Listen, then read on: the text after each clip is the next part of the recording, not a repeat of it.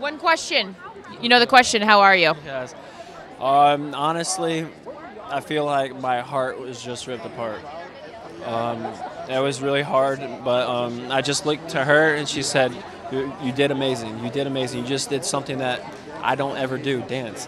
And I came out here in front of millions and I tried to dance my heart out. And you did.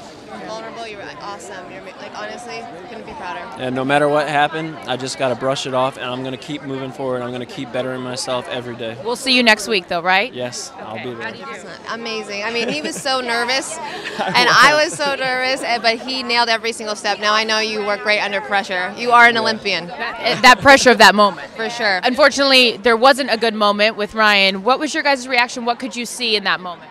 I just care about Peta in the front row. So I ran out to make sure nobody's running into her, and the rest is, you know, not not my concern to be honest with you. Yeah. You know, Ryan is really, really sweet, and he's a great guy. And um, people make mistakes, and things happen, and that was unfair to him. And We just um, think that Dancing with the Stars is not a, a court of public opinion. You know, we, we do a dance show here. Yeah, it's mind a completely your damn different business, and let him idea. dance, okay? We were in the red room at the time, but I definitely heard the whole room change. And so we all rushed out to see it. By that time, our incredible security guards diffused it.